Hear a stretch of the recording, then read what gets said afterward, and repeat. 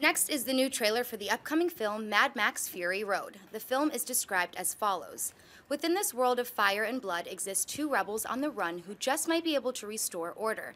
There's Max, played by Tom Hardy, a man of action and a man of few words, who seeks peace of mind following the loss of his wife and child in the aftermath of, of the chaos. And Furiosa, played by Charlize Theron, a woman of action and a woman who believes her path to survival may be achieved if she can make it across the desert back to her childhood homeland. Mad Max Fury Road opens in AMC theaters on May 15th. Mark, buy or sell the Mad Max Fury Road trailer.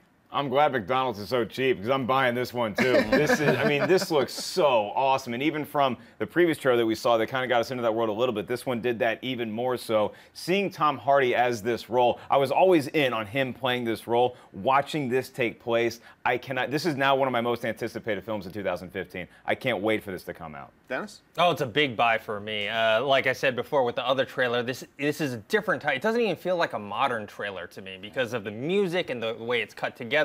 It's kind of like a controlled chaos. It it it gives you like a, a tease of it. it. I mean, it could totally suck. We don't know, but just visually, it looks so fantastic. And um, it's interesting. The last few movies uh, George Miller has done is Happy Feet, Happy Feet Two and I think Babe in and the almost, City. And almost a Justice League movie. Oh yeah, don't yeah, forget yeah. about that. But I, I, think this looks fantastic, and I, I, definitely it's jumped up my list as well. Probably like third, probably behind Star Wars and Age of Ultron. Christian? Yeah, big buy. I mean, I'm. Uh, this looks like Road Warrior style to me. This, it, we're back to what we loved about Mad Max.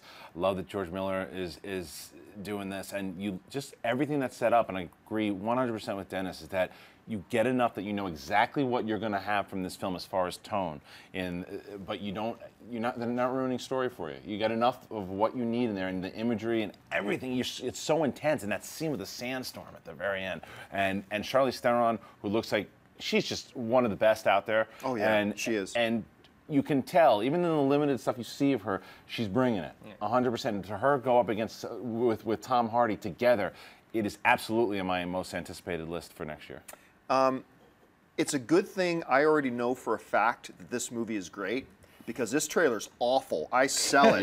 this is a terrible. No, it's a terrible trailer. It's a terrible trailer. Wow. And it's it, it's a good thing I know that the movie's so good because wow. if I didn't already know that the movie was great and I just saw this trailer, I would think the thing. The trailer to me feels like a trailer from Hollywood mocking Hollywood trailers. That's what it felt like to me. It felt like a big mess. Like some of the beginning of Tropic Thunder? Yeah, yeah, it felt uh, seriously. I'm, I'm, really shocked too. I, I, think the trailer. I think the trailer is brilliant. Wow. But like I said, like I said, it's a good thing I already know that the movie's yeah. great because otherwise the trailer wouldn't have sold but me it's at all. funny because I, I echo Dennis's sentiments because he said this thing could suck because he doesn't know if it's good or not, yeah. and I don't know if it's good or not. But this, you know, you know what I loved about it, John, was the cockiness. This movie feels like it knows it's really good, and it does. It's not relying yeah. on the fact that it's a reboot of something something that we already are aware of. A lot like what the Star Wars teaser was, where it just it opened with this arrogant tone about it, where it's like, hey, we're telling a story, and we know that you already love us from the past, but here's something new for you. That's what got me into this trailer. It doesn't use the same kind of musical cues that yeah. most modern trailers use today.